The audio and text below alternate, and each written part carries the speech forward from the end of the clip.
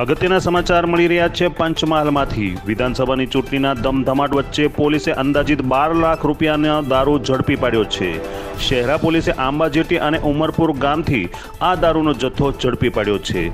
રહેણાંક, મકાન અને પશુઓને ખવડાવવાના ઘાસમાંથી બસો ઉપરાંત વિદેશી દારૂની પેટીઓ મળી આવી છે. આંબાજટી પટેલિયા ફળિયામાંથી આ તમામ દારૂઓ ઝડપાયો છે ત્યારે ઉમરપુર ગામના નિશાન ફળિયા પાસેથી પણ સાઠ પેટી દારૂ ઝડપાયો છે.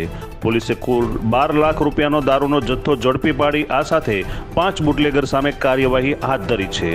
પોલીસે મળેલી બાતમીના આધારે પાંચમાંથી બે બુટલેગરોને હાલ ઝડપી પાડ્યા છે.